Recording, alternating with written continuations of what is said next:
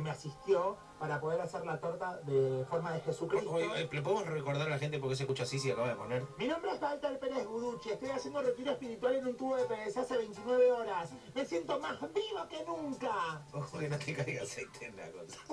Ya. Bueno, dale, dale ahí. Ay, mis La, tor- la eh. torta, dale, imbécil, la torta.